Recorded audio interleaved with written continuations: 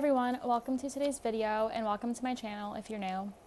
So in this video, um, I want to talk a little about some ways that people can psychic attack or attack you with their energy without actually cording or draining you of your energy. So I think some of the most common attacks that people experience is the experience of someone um, cording to your energy, so sending out uh, sort of like siphons to siphon your energy back to them. And then they leave you with their energy, which is just always feeling very uh, exhausted, de energized, because they're taking that energy from you in order to um, use it for themselves. So, you know, there are other ways that people can psychic- psychically attack without needing to drain other people of their energy.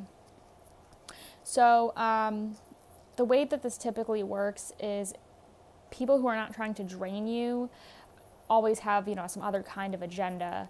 So uh, another common agenda that's not draining but it's an agenda that people have when they're psychically attacking could be to kind of persuade you or um, convince you of something that you don't actually believe.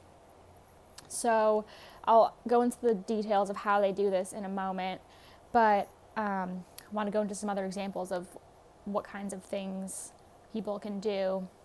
So, for example, maybe in politics or law, um, you know, they might influence you to come to their side or sort of um, push you out of whatever negotiation you were in so that they get the upper hand.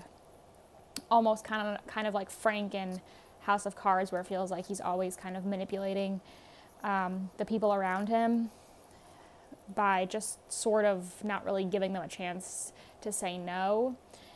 But it goes deeper than that because what these people are doing is they are projecting sort of like their energy onto you. And how they do this, well, actually, first of all, another sort of way that people can use this energy, let's say it's not to persuade you in some kind of business meeting, it's actually to um, seduce you. So this can be dangerous because, you know, when you're faced with like a, sedu- a seducer of some sort, you may think that you're feeling your own energy and this is something that you want, but it might not actually be something that you want. It could just be that um, it's like a trap. So that's what these people do is they're setting a trap. So as far as the energetics of it is they're projecting their energy onto you. But the catch is that it's not really their energy.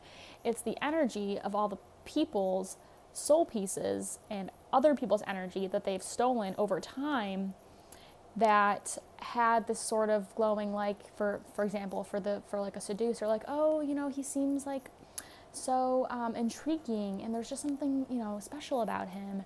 And um, yeah i think he just it seems like he uh, makes me feel really special or is really into me something like that. So this kind of energy is not actually the seducer's energy it's all the victim's energies that you're picking up on.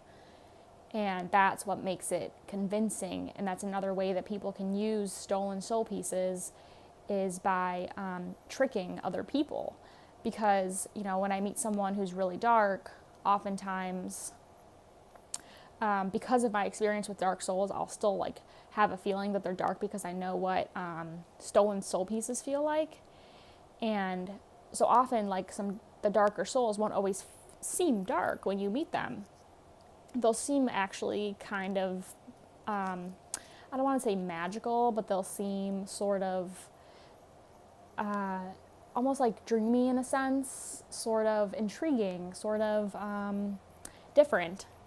But what you're picking up on is all these soul pieces from other people they've collected over the time that they've stolen that gives them this sort of interesting glow about them.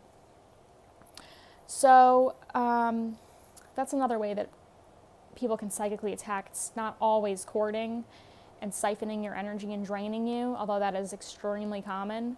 But this is another one I've noticed. So, you know, if you're trying to get back your energy, your power in a business meeting, or if someone is trying to, you know, talk you into doing something you don't want to do, whether it's a seducer of some kind or um, in a um, some kind of negotiation, what you can do to stop this kind of projection and to get your energy back, or not really get your energy back because they're not taking it, but more just to um, reassert your own power and your own will, is that you can imagine kind of like um, like a glass bubble coming down around you, sort of like a greenhouse, or um, almost like um, an upside down fishbowl coming over you, and then set the intention for that visualization that um, it will make you invisible to the person that's trying to um, like almost overwhelm you or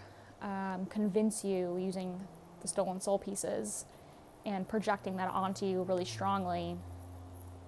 You you can't necessarily push push it away because it's not actually them attacking your energy. It's them projecting the energy of the soul pieces and the stolen soul pieces around you so that you are fooled by them and they're more easily able to um, convince you or make you do what they want you to do.